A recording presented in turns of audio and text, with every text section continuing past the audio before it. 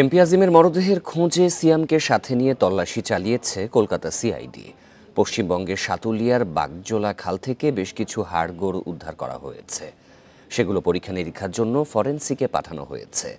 এদিকে আজিমকে অপহরণ মামলায় গ্রেপ্তার ঝিনাইদহ আওয়ামী লীগ নেতা কাজী কামাল আহমেদকে সাত দিনের রিমান্ডে পাঠিয়েছে আদালত।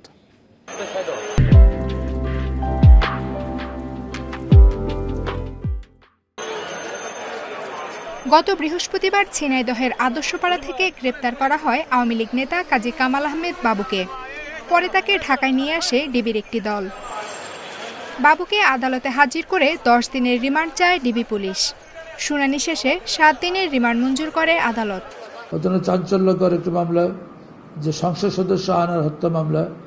এই মামলায় আজকে একজন আসামিকে গ্রেপ্তার করে পুলিশ রিমান্ড দশ দিন পুলিশ রিমান্ড আদালতে পাঠানো হয়েছে ডিবি সেই আসামির আজকে সাত দিনের পুলিশ রিমান্ড মঞ্জুর করেছে।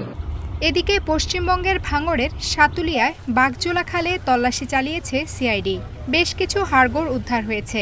তবে তা এমপি আজিমের কিনা নিশ্চিত হওয়া যায়নি। তবে সিয়ামের দাবি, এগুলো সংসদ সদস্য আজিমেরই হাড়। সিআইডি জানায় পরীক্ষার জন্য ফরেন্সিক বিভাগে পাঠানো হবে এসব হাড়। এর আগে গ্রেপ্তার হওয়া জিহাদ যে স্থানের কথা বলেছিল, সিয়াম তার থেকে ভিন্ন জায়গার কথা বলেছে। আফসানা ফ্রিজ জুই, ইন্ডিপেন্ডেন্ট নিউজ, ঢাকা।